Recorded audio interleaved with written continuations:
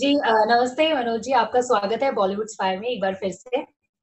Thank you जी और बात करूँ मैं जिस तरीके से ये जो पैंडमिक चल रहा है जिस तरीके से सारी चीज़ें जब लॉकडाउन हुई थी तो हमें ऐसा लग रहा था कि एक दो महीने तक चलेगी लेकिन जिस तरीके से अभी पाँच महीने से ज़्यादा हो गया तो मैं जानना चाहूँगी कितना नुकसान आपको झेलना पड़ा है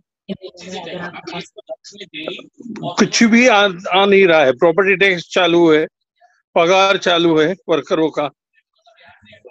बाकी बाकी के जो हर हर वक्त जीएसटी भरने पड़ते हैं मिनिमम इलेक्ट्रिक बिल चालू है। ये सब कुछ चालू होने के बावजूद देर इज़ नो इनकम हम ना कोई बिल्डर है हम ना कोई डायमंड मर्चेंट है हम खाली एग्जीबिटर है। तो मराठा मंदिर सिनेमा और यहाँ के साथ थिएटर ये संभालते संभालते अभी तो नाको चने चबा रहे हैं हम लोग। जी जी। और बीच में ऐसी खबरें भी आ रही थी कि जो सिनेमा घर के जो ओनर्स है वो बातचीत चल रही है उन्होंने कुछ गाइडलाइंस बनाया है सेफ्टी गाइडलाइंस जिससे रीओपन हो सकते हैं। तो उस पर जाना चाहूँगी मैं। ऐसा है हमने कुछ सात लेटर लिखे हैं चीफ मिनिस्टर को जी।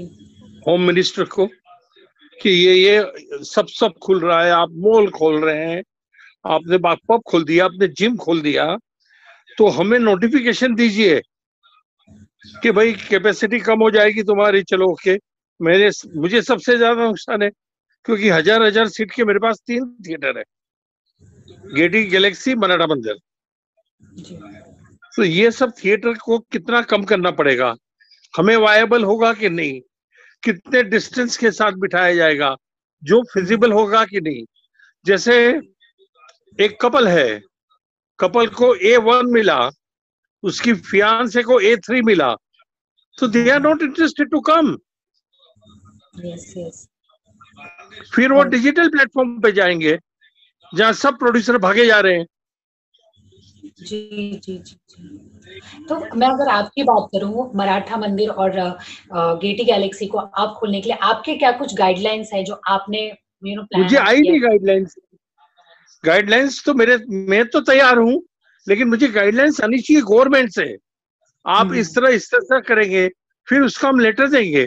नहीं ये ये चीज़ नहीं जम रही सर ये ये ये चीज़ जमेगी। लेकिन आप हम लोग ने सात सात लेटर लिखे हैं आप कोई कोरस्पोंडेंस ही नहीं कर रहे हैं वो कैसे चलेगा? जी जी जी। सही बात है। और अगर जी बोलिए। As present Jyoti our future is in dark सही बात है। अगर देखा तो ओटीटी प्लेटफॉर्म की अगर मैं बात करूँ जैसे आपने बोला कि डिजिटल प्लेटफॉर्म पे सब प्रोड्यूसर भागे भागे जा रहे हैं और लक्ष्मी बॉम्ब जैसी बड़ी बड़ी फ़िल्में जिनका थिएटर पे लोग इंतज़ार कर रहे थे थिएटर रिलीज़ होने वाली थी भुज ले लीजिए अभी सड़क रिलीज़ हो रही है विद्युत जमाल की जो फ़िल्म आई थी खुदा हाफिज सब कहीं ना कहीं ओटीटी प्लेटफॉर्म पर ही जा रही है। तो मैं उसके बारे में जानना चाहूँगी आपका क्या कहना है? बस टीवी स्ट्रॉन्ग हो रहा है बेडरूम स्ट्रॉन्ग हो रहा है लोग घर में बैठे बैठे एसी चालू करके खाते खाते हम्म। पिक्चर देखेंगे? जी। जो सुविधा हमारे वहाँ मिल हमारे वहाँ मिल सकती है लेकिन हमें तो कोई गाइडलाइंस ही नहीं है। हमें कोई नोटिफिकेशन ही नहीं है। जब गाइडलाइंस ना हो नोटिफिकेशन ना हो तो हम कैसे थिएटर चालू करेंगे? जी जी जी। आपको लगता है कि जिस तरीके से ये जो बड़ी बड़ी फ़िल्में जो थिएटर में रिलीज़ होने वाली थी अब ओटीटी प्लेटफॉर्म पर रिलीज़ हुई उनको वेट करना चाहिए था यू नो थिएटर खुलने का प्रॉपर तरीके से या फिर उनका डिसीज़न सबके अपने अपने डिसीज़न होते हैं।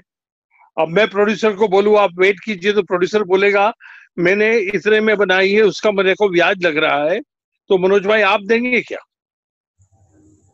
तो I can't give any advice to any producer not to go to OTP platform अब अक्षय कुमार जैसे जो करोड़ों रुपया सब जगह पे दान करते हैं, उनका लक्ष्मी बॉम्ब भी वो ओटीटी प्लेटफॉर्म पे दे रहे हैं, बात खत्म हो गई ना?